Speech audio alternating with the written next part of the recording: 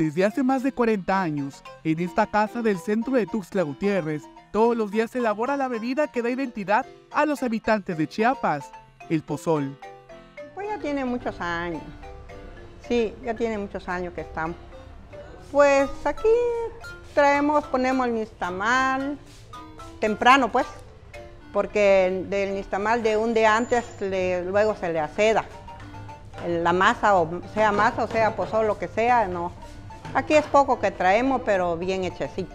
Aquí ya más o menos va como sus 40 años que, que está el negocio de este pozole.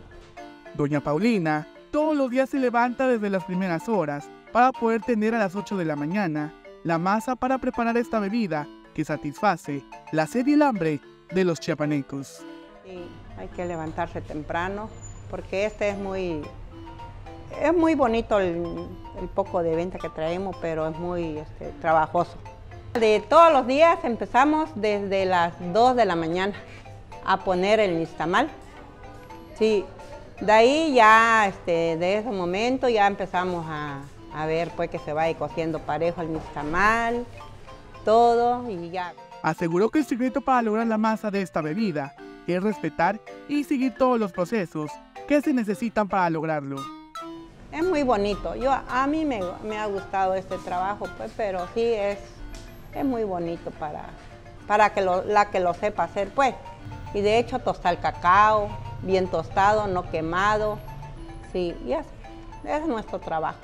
Su clientela es la que no la ha abandonado en estos años y le ha ayudado a mantener su negocio en pleno centro de la ciudad. Puedes encontrar esta casa, ubicada en la séptima sur entre segunda y tercera poniente, de Tuxtla Gutiérrez. Sí, siempre vienen las personas. Luego vienen pues gente que a veces traen carro y no hay dónde estacionarse. Sí, por ese motivo algunas ya, ya no vienen pues porque no hay dónde estacionarse, porque nada más vienen por el pozol. Pero gracias a Dios, aunque sea poco o lo mucho que venda uno, le da uno gracias a Dios.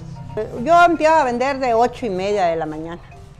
Sí, hasta el momento que termina uno de una, 12, 2 de la tarde. Es que, a como vaya, pues el negocio. Para Alerta Chiapas, Eric Chandomí.